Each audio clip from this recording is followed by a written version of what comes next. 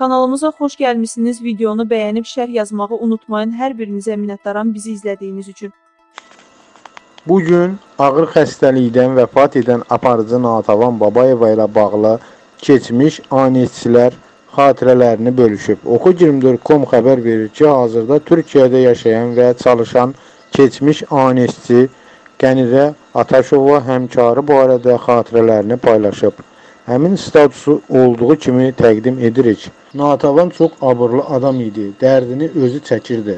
Problemini şoğlaşdırmadı, amma köməyə ehtiyacı var idi. ASTV-dən aldığı 1000 manatı səhhətinə xərcləyirdi. Amma hər birimiz bilirik, bu məbləğ bu xəstəliyi üçün müalicədə yetərsiz idi. Onu Bakıda Toma adlı bir həkim əməliyyat etmişdi. Əməliyyatdan sonra bədənində səpkilər yarandı. 7 ay həmin həkim səpkilərə allergiya deyib müalicə etdi.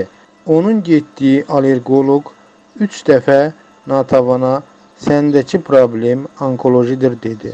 Onkoloq xanım isə Natavana əksini dedi. Beləcə Natavan Türkiyəyə dünyaca tanınmış onkoloq Gül Başarının yanına getdi. Bu barədə Mübariz Mənsimov xəbər tutdu. Həmişə olduğu kimi Mübariz Mənsimov bu dəfə də sadə Azərbaycanlının köməyinə gəldi. Natavan xanımın müalicəsi xərclərini ödədi. İgidin haqqını itirmək olmaz. Mübariz Mənsimova Natavanın ailəsi və dostları adından minnətdarlığımı bildirirəm. Amma aqressiv irəliləyən xəstəlik onu bizdən aldı. Allah rəhmət eləsin.